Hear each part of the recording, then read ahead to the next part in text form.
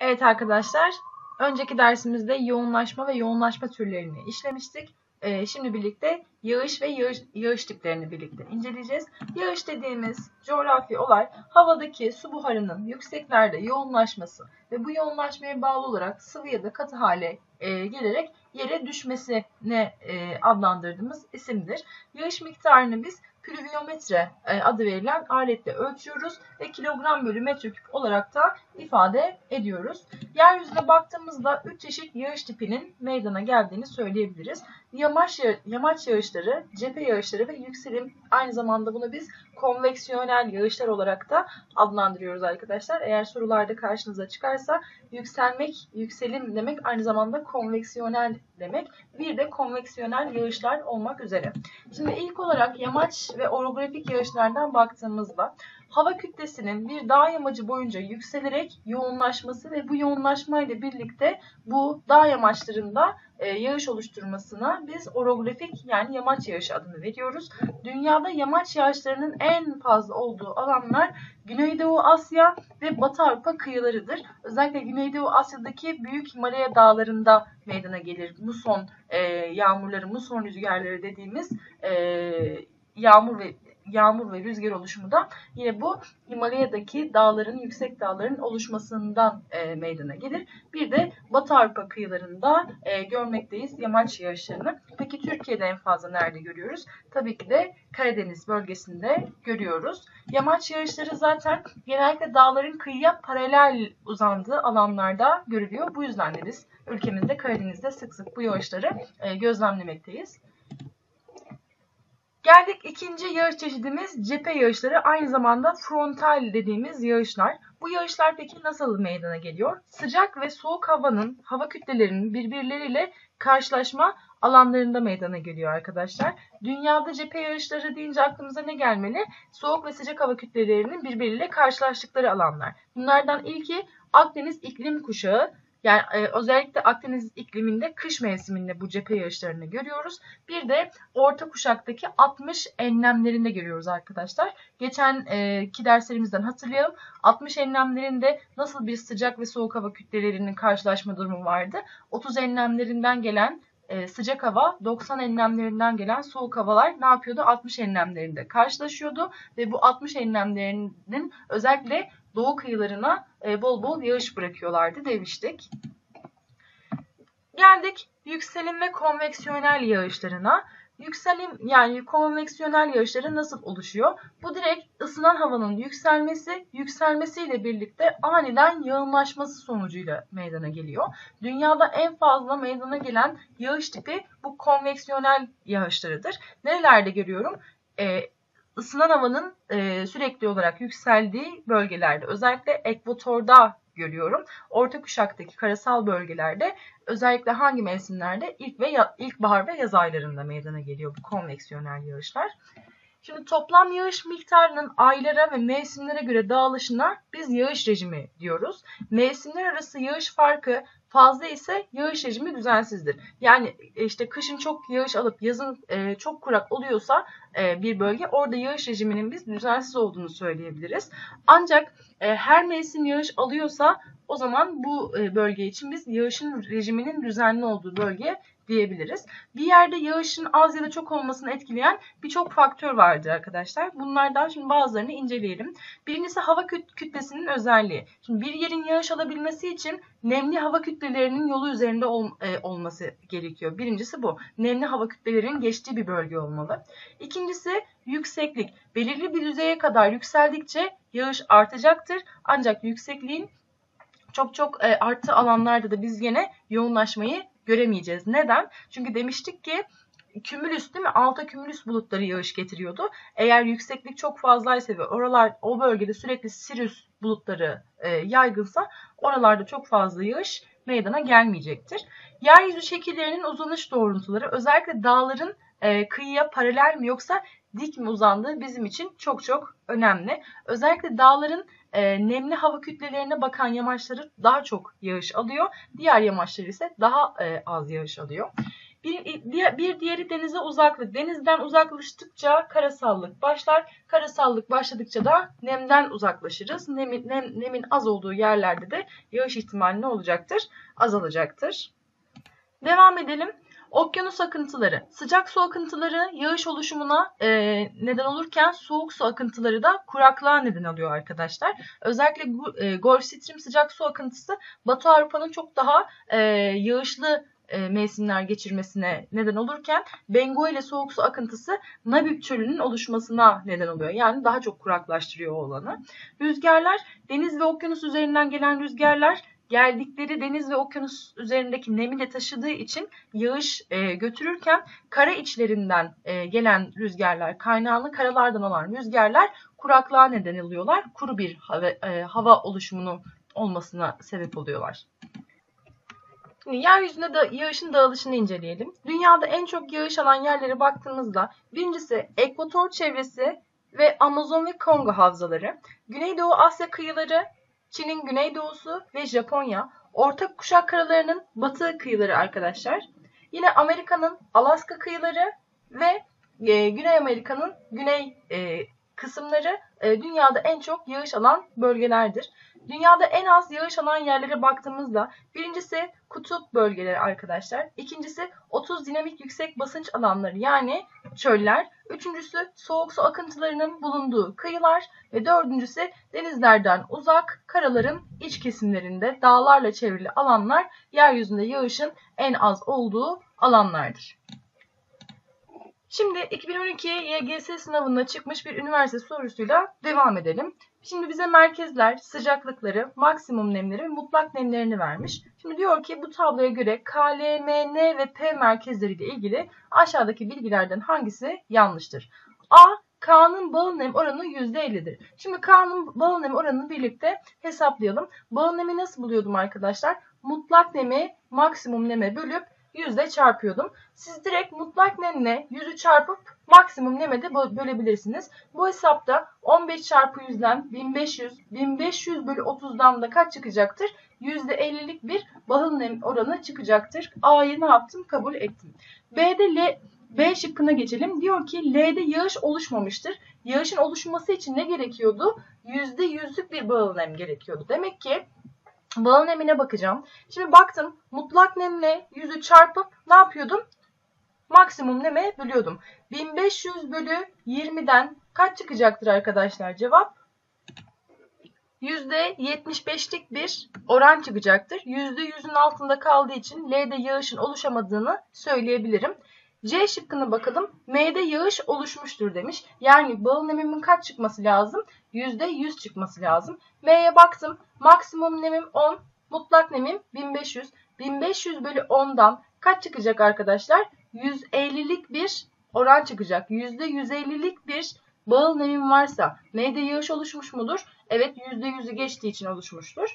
D'ye baktım. En fazla buharlaşma N'dedir. Baktığımızda buharlaşmanın fazla olduğunu görebilmem için neyin fazla olması gerekiyordu arkadaşlar? Maksimum nemin fazla olması gerekiyordu. Şimdi baktığımda 30 30 e, gram maksimum nemi varken N'de e, buharlaşmanın fazla olduğunu söyleyebilir miyim?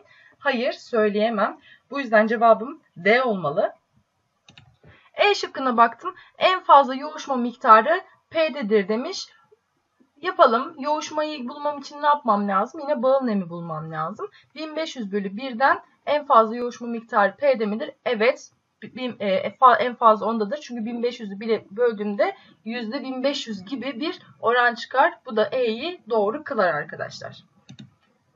Diğer soruya geçelim. Yanda verilen şekilde bir yerde yağışın oluşumundan yeryüzüne dışına kadar olan sıcaklık değişimi gösterilmiştir. Buna göre bulut ile yeryüzü arasındaki sıcaklık değişim grafiği aşağıdakilerden hangisidir demiş arkadaşlar. Şimdi buluttan çıktı. Öncelikli olarak ne, ne şeklinde düşmüş arkadaşlar? Eksi 10 derece ile kar şeklinde düşmüş. Demek ki benim grafiği nereden başlatmam lazım? Eksi 10'dan başlatmam lazım. Baktığımda eksi 20'den başlattığı için A şıkkını ne yaptım? Eledim. B'ye baktım. Eksi 20 ile 10 arasında. Evet B'yi şöyle bir tutalım. B olabilir. C'ye baktım. Kaçtan başlatmış? 20 dereceden başlatmış. Kaçtan başlatmam lazım? Eksi 10'dan başlatmam lazım. C'yi de eledim. D'ye baktım. Nereden başlatmış arkadaşlar? Eksi 15'lerde ya da 10'da olarak bunu e, başlatmış. Ancak kaçta başlatmış arkadaşlar? Eksi 20'den başlatmış sonra düşürmüş. D'yi de bir tutalım. E'ye baktım kaçtan başlatmış? 10 dereceden başlatmış. O yüzden E'yi de eledim. Şimdi C ile D arasında kalmam gerekiyor. Devam edelim. Eksi 10'dan 0 dereceye yükselmeliymiş. Baktığımda B şıkkına baktım. Eksi 10'dan bakın nötre doğru gidiyor. Yani 0'a doğru gidiyor. 10 dereceye yaklaşmış mı? Evet yaklaşmış. D'ye baktım. Eksi 10'dan başlamış. Nereye doğru gitmiş? Yine bu da 10'a doğru gitmiş. Yine kabul ettim. 0 sonra diyor ki bir süre ne yapmış arkadaşlar? 0 derecede kalmış değil mi? Sonra diyor 0 derecede biraz kalmalı. Baktığımda ikisi de 0 derecede kalmış. Sonra diyor eksi 10'a e, düşmeli. Baktığımda B şıkkına baktım. Tekrar sıfırdan ne yaptı? Bakın eksi yöne doğru geldi. Eksi 10'a doğru geçti. D'ye bakıyorum ama e, eksi 10'a doğru gelmiş mi? Hayır gelmemiş. Bu yüzden D'yi de eledim. Cevap ne olmalı? Bursa olmalı arkadaşlar. Şimdi ölçme değerlendirme sorularını birlikte çözelim.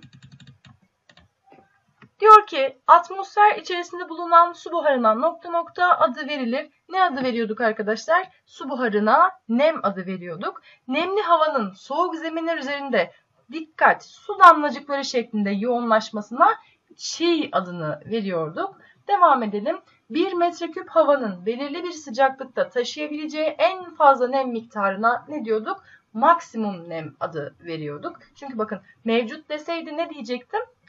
Mutlak nem diyecektim değil mi? Ama diyor ki belirli bir sıcaklıkta taşıyabileceği en son raddede buna biz maksimum nem adını veririz. Bal nemle sıcaklık arasında nasıl bir ilişki vardı? Ters orantı vardı. Sıcak ve soğuk hava kütlelerinin karşılaşma alanlarında nokta nokta yağışlı havaları, e, yağışları meydana gelir. Sıcak ve soğuk hava kütleleri farklı iki cephe meydana e, geliyorsa biz buna ne diyorduk? Cephe yağışları. Devam edelim. Nem higrometre ile ölçülür ve nem miktarı gram olarak ifade edilir. Doğru bir ifade mi? Evet, doğru bir ifade. Alçalıcı hava hareketleri nem açığını büyüttüğü için yağış oluşmaz demiş. Evet alçalıcı hava hareketleri diyorsam hangi basınçtan bahsediyorum? Yüksek basınçtan bahsediyorum. Devam ettik. Kutup bölgeleri 30 dinamik yüksek basınç alanları, soğuk su akıntılarının görüldüğü kıyılar, denizler ve okyanuslardan uzak alanlar dünyada en çok yağış alan yerler midir? Hayır, dünyada en az yağış alan yerlerdi bu alanlar. Kutup bölgeleri 30 dinamik yüksek basınç alanları zaten çöl alanlarıydı. Bu, bu alanlar en çok yağış alan yerler değil, en fazla kurak olan bölgelerdi. Devam edelim. Çöllerde ve karasal bölgelerde sıcaklığın fazla olmasından dolayı bağıl nem de fazladır. Yanlış bir ifade arkadaşlar. Bölgeler, bu bölgelerde biz bağıl nemin değil maksimum nemin fazla olduğunu görüyorduk. Maksimum nemin fazla olduğu yerlerde de bağıl nem fazla olmuyordu. Devam edelim. Mevsimler arası yağış fark fazla ise yağış rejimi düzensiz, fark az ise yağış rejimi düzenlidir. Yine doğru kabul ettik. Devam edelim. Aşağıda oluşumlarına göre yağış türlerine ait bazı özellikler verilmiştir. Bu bilgilerin yağış türleri ile doğru eşleştirmesi aşağıdakilerden hangisidir demiş. Birincisine baktım. 1. Isınan havanın yükselmesi sonucunda oluşmuştur. Bu, bu cümle bana neyi hatırlattı? konveksiyonel yani yükselim yağışlarını hatırlattı değil mi? Isınan bir hava vardı, hava yükselirdi, yükseldikçe yoğunlaşır, yoğunlaştıkça da ne yapardı? Yağış bırak, bırakırdı. Bir kesinlikle ne olmalı arkadaşlar o zaman? Konveksiyonel olmalı. O zaman şurada yani yükselim yağışlarında neyi aramalıyım? Biri aramalıyım. O zaman C ve D arasında diğer şıkları eledim. C ya da D olmalı benim Doğru cevabım. İkiye baktım. Dağların kıyı çizgisine paralel şekilde uzandığı yerlerde oluşmaktadır. Dağlar, paralel, kıyı çizgisi. Bunlar bana ne hatırlatır arkadaşlar? Yamaç yağışları yani orografik yağışlar gelmeli. O zaman ikinci şıkkım kesinlikle nerede olmalı? Yamaç yağışlarında olmalı. O zaman bakın C'yi de eledim. Geriye D şıkkı kaldı doğru olarak. Üçüncüsüne de bakalım. Sıcaklık bakımından farklı iki hava kütlesinin karşılaşma alanlarında oluşmaktadır. Yani bir sıcak bir soğuk hava kütlesi karşılaştı. Hangi yağış oluşturdu? Cephe yağışlarını meydana getirdi arkadaşlar. Devam edelim. Aşağıda verilen yağış türlerinden hangisi yeryüzünde ve 0 derecenin üzerinde sıcaklıklarda oluşmaktadır. Şimdi yağmuru biz yer mi görüyoruz? Hayır, eledim. Doluyu nerede görüyorum? Yeryüzünde görüyorum ama 0 derecenin altında. Bunu da eledim. Kara baktım. Nerede oluşuyor? Yeryüzünde değil, gökyüzünde oluşuyor. Yine eledim. Kıraya baktım. Yeryüzünde oluşuyor. Ancak 0 derecenin altında. O yüzden D'yi de eledim. Ama çiğe baktığımda hem yeryüzünde hem de sıcaklığın 0 derecenin üzerinde oluşma şartını görebilirim. Cevabım buradan çiğ ile E, e şıkkı olmalı arkadaşlar. Devam edelim. Diyor ki haritada numaralandırılarak verilen yerlerin hangilerinde mutlak nem oranı yıl boyunca diğerlerinden daha fazladır. Şimdi mutlak nem deyince aklıma ne gelmeliydi arkadaşlar? Hem sıcak bir alan arayacağım hem de yağışın ve su kütlesinin hem yağışın hem su kütlesinin fazla olduğu bir alan arayacağım. Şimdi cevaplara bakıyorum. A'ya baktım yalnız 1 demiş. Bir numaraya baktığımda neredeyim? Ekvatoral bir bölgedeyim değil mi? Ekvatoral bölgede mutlak nem fazla mıydı? Evet fazlaydı. Bir kesinlikle olacak. İkinci alana baktım. Neredeyim arkadaşlar? Victoria çölünün Büyük Victoria, Gibson, Simpson çöllerinin üzerindeyim. Burada mutlak nem fazla mı?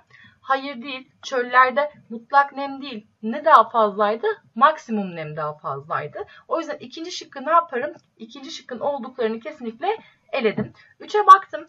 Neredeyim arkadaşlar? 30 dinamik yüksek basıncının etkili olduğu Sahra Çölü üzerindeyim. Bu yüzden de Sahra Çölü'nde mutlak nem fazla olabilir mi? Hayır olamaz. 4 numaraya baktım. Neredeyim arkadaşlar? Avrupa'nın batı kıyılarındayım. Avrupa'nın batı kıy kıyıları bol yağış alır demiştik. Ilıman okyanusal iklime sahiptir demiştik. Yani hem ılık hem de su kütlesinin varlığı bakımından zengin. Bu yüzden mutlak nemi nerede göreceğim arkadaşlar? 1 ve 4 numaralı alanlarda göreceğim. Devam edelim. Tabloda diyor PRT hava kütlelerine ait bilgi verilmiştir. Bu tablodaki bilgilere bakıldığında yukarıda verilen bilgilerden hangileri söylenebilir demiş. Birinciye baktım. P hava kütlesinin yağış oluşma ihtimali diğerlerinden fazladır. Baktığımda nasıl buluyordum yağış oluşma ihtimalini? Bağıl nemlerini buluyordum değil mi? Aa, bize zaten tabloda bağıl nem oranlarını vermiş. Bağıl nemin P'de %50, R'de %33, T'de de %12,5 %12,5 olduğunu söyleyebilirim. Baktığımda P bağıl nemi diğerlerinden daha fazla mı? Fazla. Demek ki yağış oluşma ihtimali daha fazla. Biri ne yaparım? Doğru kabul ederim. İkiye baktım. Verilen hava kütlelerinin hepsinin mutlak nemi 8 gram olsaydı bağıl nem oranı en fazla olan hava kütlesi T olurdu demiş. Baktığımızda mutlak neminin hepsinin fazla, e, aynı olması e, T'de ne yapmayacaktır arkadaşlar? Bağıl nem oranını en yüksek seviyeye çıkarmayacaktır. Maksimum nemi çok yüksek. Maksimum nemi en az olan yağışın en fazla olacağı anlamına gelirdi. Devam ettik. 3. Hava kütlelerinin hepsinin sıcaklığı 26 derece olsaydı bağıl nem oranları değişmezdi demiş. Neden arkadaşlar sıcaklık neyi etkiliyor? Doğrudan maksimum nemi etkilediği için bağıl nem oranları değişirdi. Bu yüzden tabloya baktığımda cevabım ne olmalı? Adana olmalı. Devam edelim. Bir hava kütlesinin maksimum nemi 20 gram ve mutlak nemi 100 şey pardon 10 gram ise bu hava kütlesinin bağıl nemi nedir? Bağıl nemi bulmak için ne yapıyordum? Mutlak nemi yüzde çarp ve maksimum neme böl. E, mutlak nemim 10'muş. 10 çarpı 100'den 1000. 1000'i 20'ye böldüğümde cevap ne çıkacaktır? %50 çıkacaktır.